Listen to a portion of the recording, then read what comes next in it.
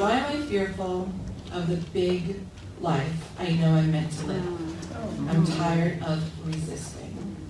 So Tricia and I were talking to someone last night as we were leaving, and it's kind of the same thing. Like I, I know, I re- this was some this was somebody who kind of wanted to get in the circle last night, really felt it, but just didn't. And, and I told this person I've done that a million times. God has asked me to go forward and give a message, and I just I, I couldn't do it. I was shy or whatever it was. But the next time I did, or the next time I did. Ultimately, I got there.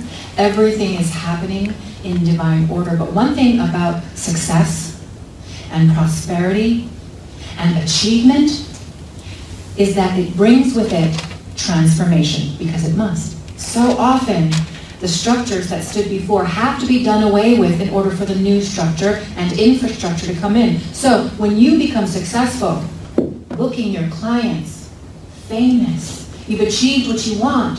You're going to lose people. You might have to move. People are going to think you're weird. Trust me. they're going to judge you. They're going to be looking at you and they're going to be projecting that stuff onto you and you'll feel that and you're going to have to learn how to manage it. That's scary. Mm-hmm. It's vulnerable. That's what the fear is. And so the response we are being invited to respond to this by not aligning with all the things that could go wrong, but aligning with the promise of all the blessings that inevitably come when we answer the call. You're only called if you have what it takes to answer the call. Okay? Nobody's asking you to write a book uh, in spirit if you're not a good writer. they're just not. Maybe channeling and journaling, but they're not asking you to publish a book if that's not something that you can do. And through doing that, you will be so successful. And maybe successful is not money, maybe it's not fame, maybe it's people. Networking, opportunities, a new location, new energy. So I ask you to be brave.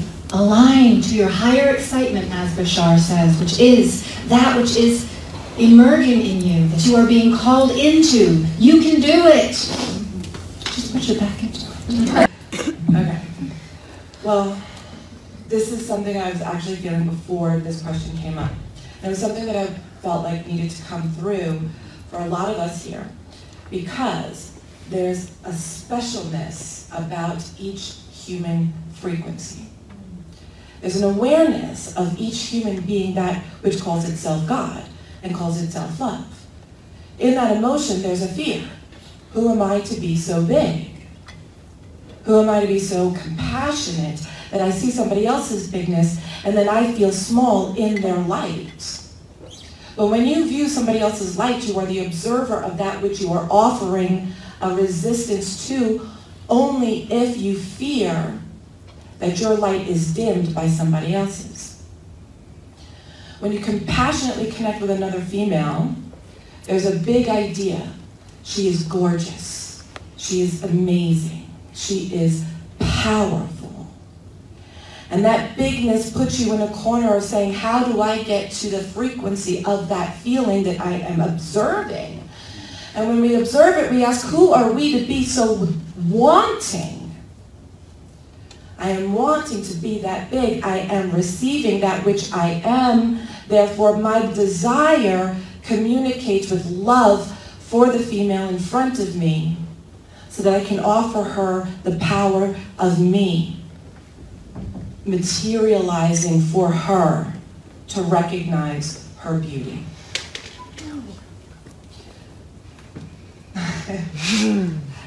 so when you offer yourself to another female that is as big and as bright and as powerful as you know yourself to be, the bigness of your light can only be expanded by the one in front of you. Amen. Well, example to that, I have um, been intuitive for a long time, I've been doing this for not my whole life, but for a little while now. I feel experienced. But one thing I never felt confident in doing was astrology, was doing charts and, and studying it and talking about it and teaching it.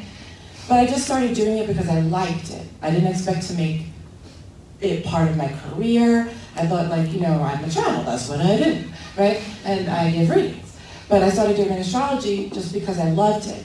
And wouldn't you know that the most, the most important thing that people, not, I mean, not the only thing, but the thing that has really pushed me to be more open, more connected, and people really see my work is because is the astrology. Like people really have been interested in coming out of the woodwork just to ask me to do more for that. And it wasn't an intention. It wasn't like, oh, I got to be this big astrologer. It was I was doing it because I loved it. So I did, you know, some things I wasn't so sure of at first, but the thing that I did love eventually became the main um, joy. I still love doing everything else I do, but if you're loving what you're doing, everything else will fall around it. Um, I mean, take a step, you don't feel that confident at first, but once you do, it, it comes together. Guys, Metatron says, humans play this game called supply and demand. And forget not that it is a game. It is an illusion. It's a toy for you. It is not your master. Supply and demand is not your truth, it's your game. Your truth is the real resource of the universe. universe. It is light, and there is no shortage of that resource. So, Lightworker, be your light. There is no shortage of that resource. Be it. Be it immediately. Now, in this moment, nothing is being withheld from you. And on the other hand, there is another beautiful message from Divine Mother Goddess. And she says,